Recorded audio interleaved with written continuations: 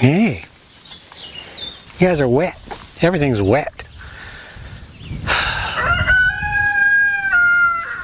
Even the chickens are wet. It's been raining here for, I don't know. I've forgotten what it's like to not have rain. It has been crazy here in Iowa. Actually, all over the United States recently. You've seen it on the news. You've seen it yourself. Everybody is, well, not everybody, but a lot of places in the Midwest are getting a lot of rain, tornadoes, thunderstorms. We are no different. Iowa has gotten hit pretty heavy. We got some flooding here in Iowa, not right here because I'm on high ground, but uh, I think it's east of us. We have a lot of flooding over in the, the Des Moines area. You know, it was just last last week. Last week, uh, we, we went to bed and there was going to be a thunderstorm. Uh, no big deal. The house has been here forever. It can stand up to a thunderstorm. But the thing is, is that I slept right through it because for some reason, violent weather calms me. I've always liked thunderstorms and, and violent weather. So whenever I wake up in the middle of the night and there's lightning flashing, I try to stay awake and watch it, but I just kind of fall asleep. It's like a drug. Well, I didn't wake up. I didn't wake up. Uh, me and the dog stayed uh, asleep. Mike, in his room, he woke up, and his room faces this way, where you can, and he's got windows facing out. Well, anyway, he woke up and he heard this roar. He looked out the window, and our fruit trees out in front of the house, and all the other trees were pointing this direction. They were pointing horizontally. And he was scared, but he wasn't quite scared enough to wake me up and say, let's go to the basement. It was right on the border, you know? Well, anyway, it turns out that that night, this is just like a week or so ago, over in uh, east of us and just a little south, just a few miles, just a few miles, over in Adair, Iowa, there was a, uh, a suspected tornado hit down there. And uh, unfortunately, uh, somebody died. It was an elderly woman. Uh, the tornado hit their house, took off the top of their house, uh, killed her, and sent her husband to the hospital. So now he has no home, no wife. His health is gone. It's just so incredibly sad. But uh, we were lucky here. All we lost was some tree branches. Um, we lost uh, some plants out of the garden, and uh, a few chickens rolled around before they could get into the chicken coop. Apparently, they thought it was a good idea to roost outside. Lesson learned: don't roost outside when there's going to be a, a, a, thunderstorm in the area. But since then, sorry about my throat; it's kind of hoarse right now. but uh, since then, we've been having rain, drizzle, drizzle, rain, rain, thunderstorm, rain, drizzle and I think it was all in that order. Even today we had rain. So right now my feet are soaking wet just from bringing the camera out. Clouds are building over on the horizon. I think we're supposed to get rain tonight and a thunderstorm again tomorrow. Yes. but you know, as bad as it has been, the thing is, is that all that rain, look what it's doing. It's bringing everything to life. This is supposed to be part of a yard over here. The problem is it got so tall, I don't know where to go out with the lawnmower, and I'm scared if I go over too far, I'm just going to go over the deep end and never be heard from again. So I think I'm just going to let this, I'm going to leave this alone. And uh, the, uh, the compost got a little bit washed out, but I got it all into the garden in time. And I wanted to show you something. Um, uh, I wanted to start out telling you about the storms because what they do is whenever they hit and the rain comes down, the next day or the next week, everything just seems to come to life. Everything gets greener, everything goes faster. You've seen this happen. Well, uh, I'm going to give you a for instance. It was just a few weeks ago that uh, I, I looked out the window and I saw this huge plume of black smoke right over here on the next property. Yes, right on the next property from me. And I didn't know what was going on. So I had no idea. Nobody told me anything. So what I did was I grabbed my camera and I ran out there and this is what I filmed. Well, this is something new. One of the farmers is burning his fields. This actually isn't uncommon. They'll burn off all the wild grasses, all the native grasses, and the ashes will fertilize it, and then it goes to pasture, or they plow it under to make farmland. You really can't get a scope of what's going on here, so I'm going to get a little bit closer. I'm on the southeast corner of my property and it's quite impressive. I'm going to zoom. You might be able to see it or maybe you just missed it. Pheasants are running for their lives from this mess that's going on over here.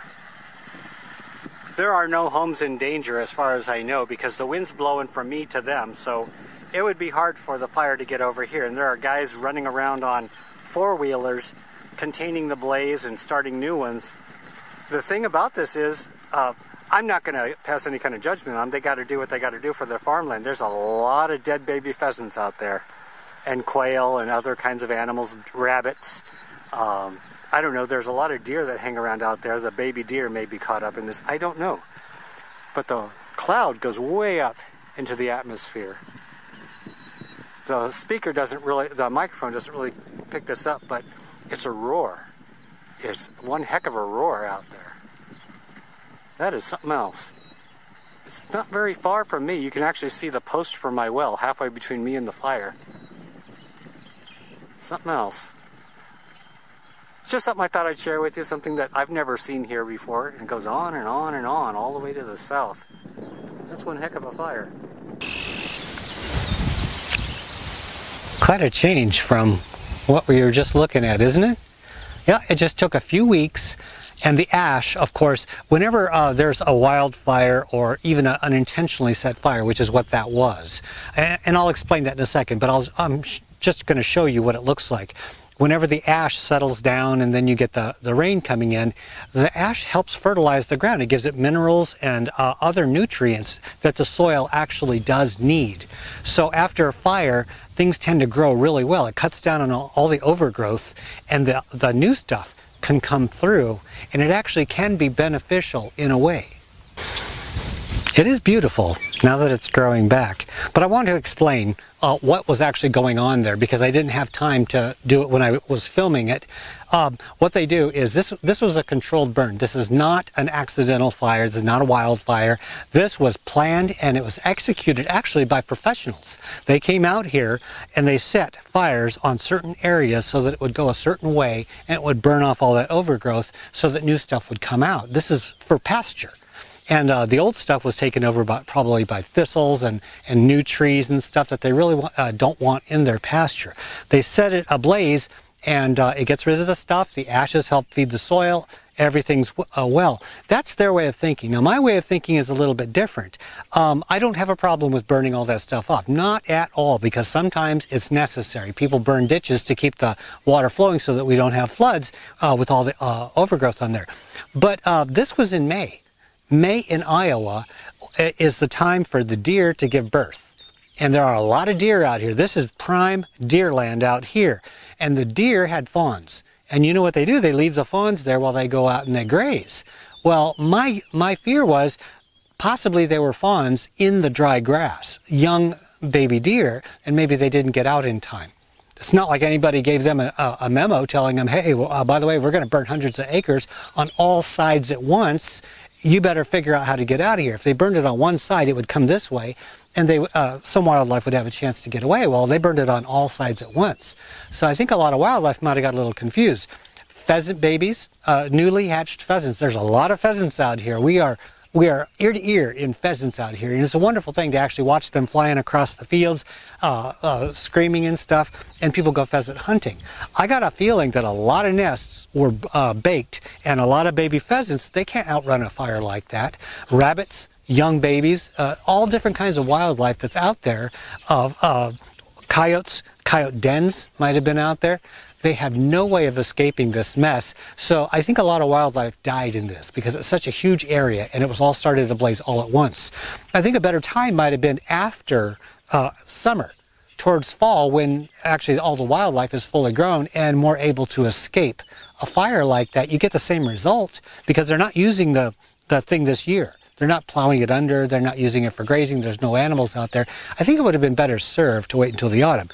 But um, that was something that was kind of freaky, and I've never seen that happen here before. I've been here for five years, and nobody's ever burned a field like that before. So it was quite something to see, as you can imagine.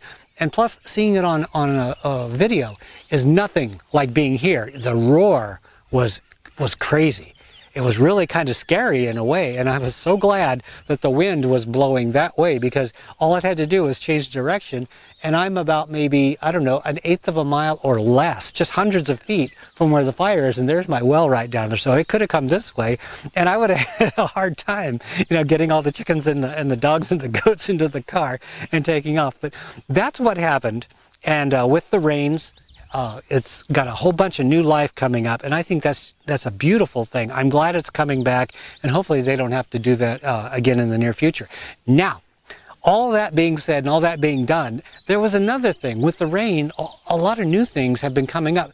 One thing in particular, one thing I never thought I would see on this property ever, and it's something I've never seen in my life, in, in real life. I've only seen it in pictures, movies, and uh, uh, with other people doing it. I want to show you something that I found right here on my property. Rascal and Tanner are my, my version of, of truffle hogs. Uh, Rascal located this and he's pointing right at it. Let's get down there and take a look at this.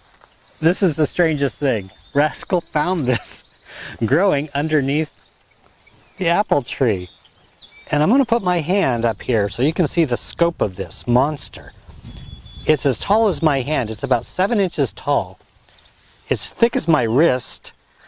Well, yeah, close. Is that a beauty or what? That is something else. the things, the things you will find. Yes. What a day. Hey, Tiki. How you doing, huh?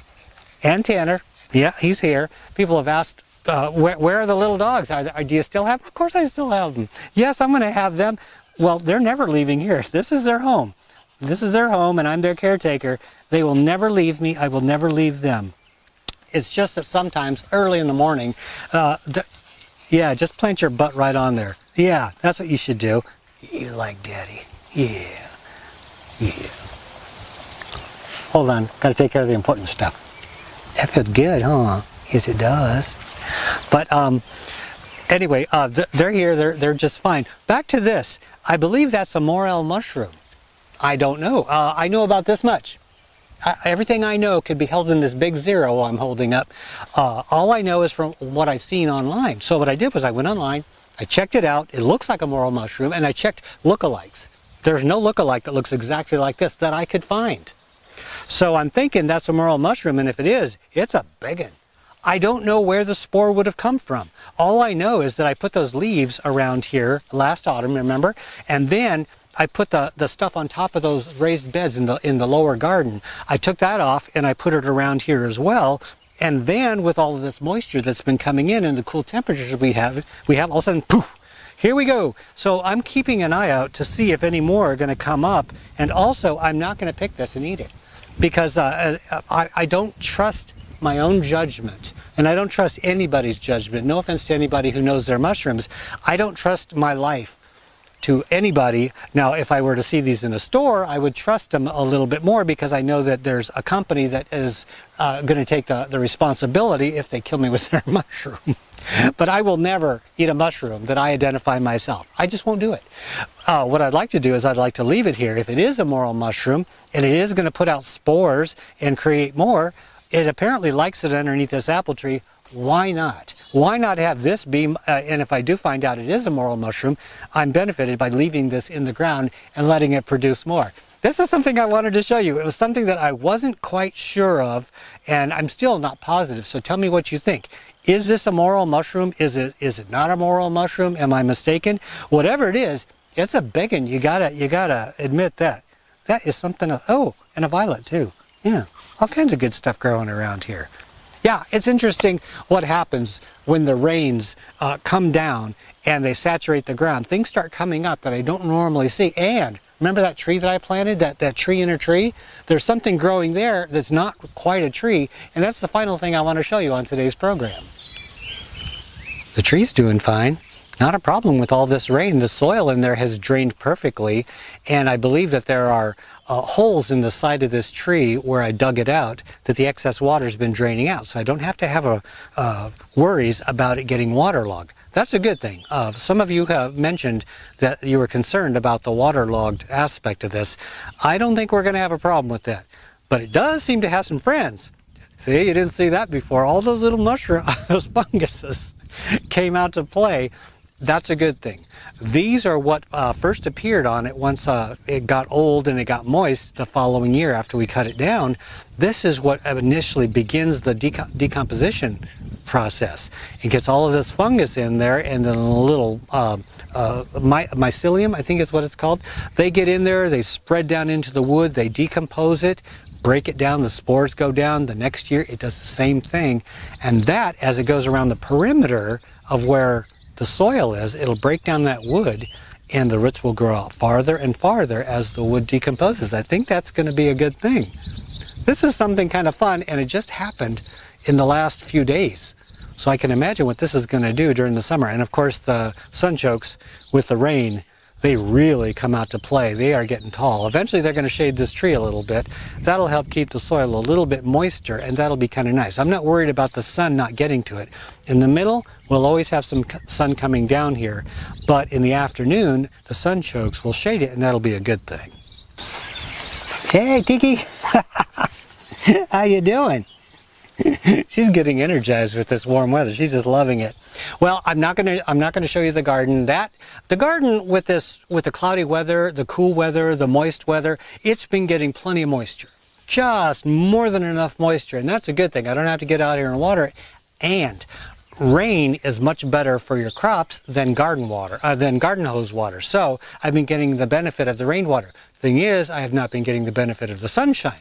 Now, after tomorrow, I believe the sunshine's going to come out, the heat's going to pour on, and my garden's going to pop and it's going to look really great. I will do an update on the garden once the sun shines on it and it starts getting into gear. Getting a little bit of a late start with my watermelons getting blown down and killed by the storm. I had to replant the watermelon seeds, and uh, a couple other things were kind of stunted because of the storm. The Prax cherry snapped like a tree. It's so sturdy, it didn't bend like the mule team.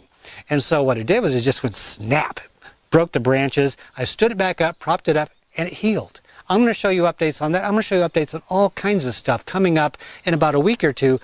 But for right now, I think that pretty much wraps it up. I don't want to drag this on and on and on. Coming up this weekend, weekend edition, you, me, all your gardening questions, and there are some good ones this time. There are always good ones, but this one I'm really liking. Tune in this Sunday for weekend edition, and then next week I'm going to have some good stuff for you. I'm going to have tree updates, and we have two new members to the uh, the farm that I'd like to uh, uh, show to you. I'd like to bring them out, show you who they are, and show you where they're planted give you some updates on the trees and also some information on trees. Then we're going to dive into the garden and we're going to have fun with that. So all kinds of good stuff coming up. I hope you'll join me for that. Until then, have a great day, everybody. I will see you next week.